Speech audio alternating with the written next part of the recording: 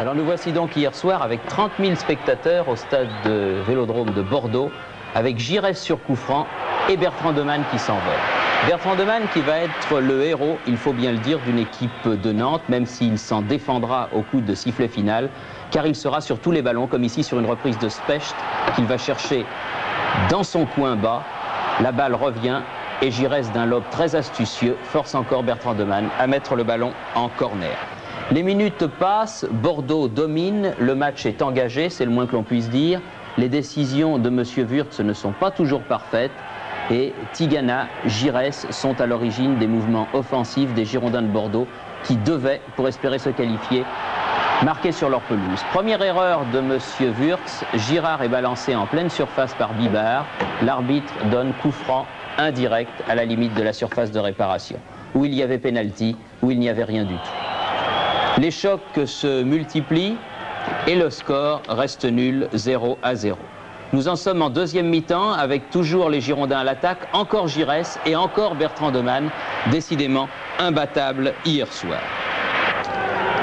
Deux minutes plus tard, le grand gardien de but de Nantes, qui est, il faut le préciser, natif de la région girondine, s'oppose encore avec brio à un tir de Girard.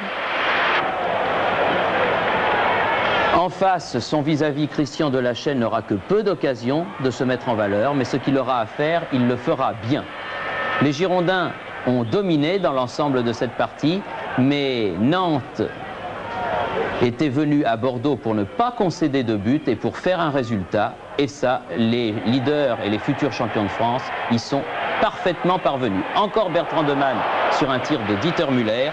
Et on arrive à la 85e minute Ali Lodzik adresse un bon coup franc face à Delachet. Et deux minutes plus tard, ce qui mettra le stade Vélodrome en furie, sur une action partie de Tigana, la balle va parvenir à Bernard Lacombe. Bernard Lacombe qui dribble Bertrand Demann. Bertrand Demann se saisit du ballon et Lacombe tombe.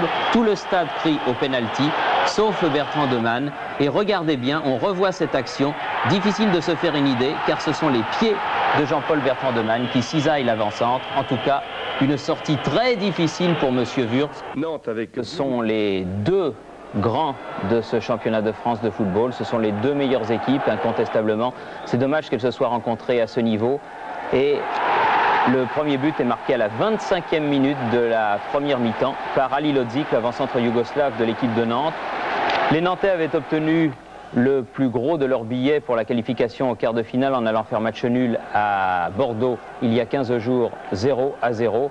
Et les Nantais allaient dominer cette rencontre face à une équipe de Bordeaux qui a peut-être eu le tort de défendre euh, ce 0-0 à l'occasion du match retour, Ali Lodzik marquant à la 33e minute le deuxième but qui sonnait le glas des espérances bordelaises.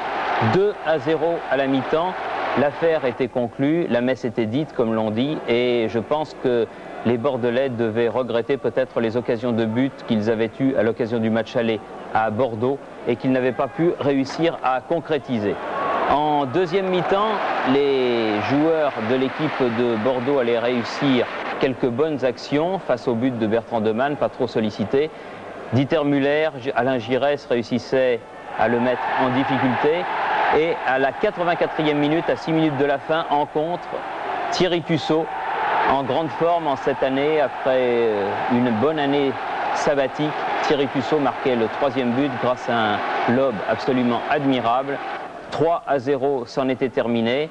Et dans les dernières minutes de la partie, les joueurs de Nantes, incontestablement la meilleure équipe du football français, et cela de loin, réussissaient un quatrième but